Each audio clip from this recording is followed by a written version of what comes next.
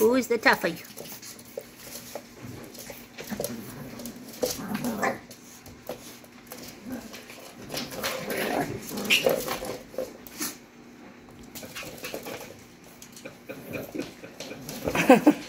Vicious little Boston Terrier.